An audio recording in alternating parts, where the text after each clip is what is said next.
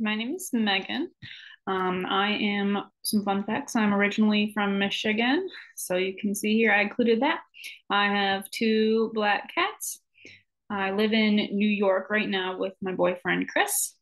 Um, I included this picture of the palm trees because I love spending time on the beach. I spent the past couple of years living in Florida and I miss it. This is what I look like now. Um, my academic background I um, have my bachelor's in education from Central Michigan University. I graduated in 2018. Then I started the Sam Houston State University Master's Program in Higher Education um, in January. So this is my third semester. Um, I'm attaching on the Certificate of Academic Advising with it as well. I currently work at SUNY Orange, which is a community college in Middletown, New York. I have two roles there. I work as the coordinator in the Center for Student Success, which basically I set up students with tutoring and do a lot of back end um, administrative work for the Center for Student Success.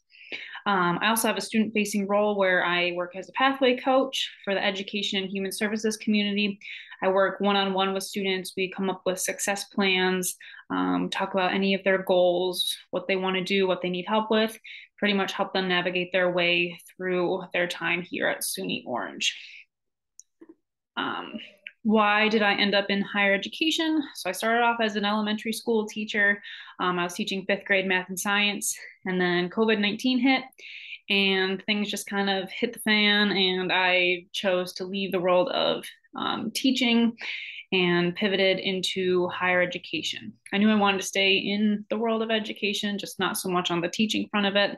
So I got a job in admissions at a private school in Clearwater, Florida, and ended up loving it. Uh, once I moved to New York, I was looking to stay in higher ed and work more um, with active students rather than just through the admissions process, which is something that I have now. So that's good. And after reading the syllabus, I don't really have any questions for now. Um, I'm sure more will come later as we go through this together. Um, some goals from the semester is that I definitely want to make sure I stay on top of my work um, and not procrastinate, but actually get ahead. I want to use my free time wisely. I want to stay actively engaged to get the most out of this class and then take what I'm actually learning and apply it to my day to day at work to ensure that I really am utilizing what I'm learning um, to make a difference. So thanks. Good to meet you all and looking forward to a good semester.